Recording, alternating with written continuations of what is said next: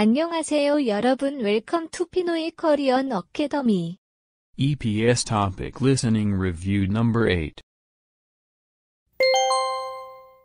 13과 EPS TOPIK 듣기. 1에서 2번.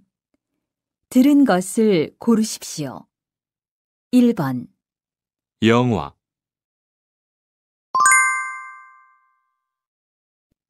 영화' 2번 시청 시청 3에서 5번 이야기를 듣고 질문에 알맞은 대답을 고르십시오. 3번 우리 내일 같이 영화 볼까요? 좋아요. 같이 봐요. 영화 4번 우리 내일 어디에서 만날까요? 백화점 앞에서 볼까요? 좋아요.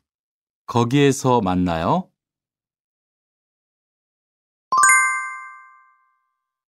백화점 앞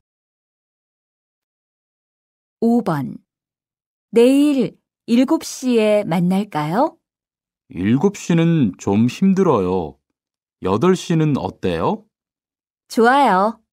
그럼 8시에 만나요. 8시 That's the end of EPS Topic Review. Please don't forget to check our our social media platform.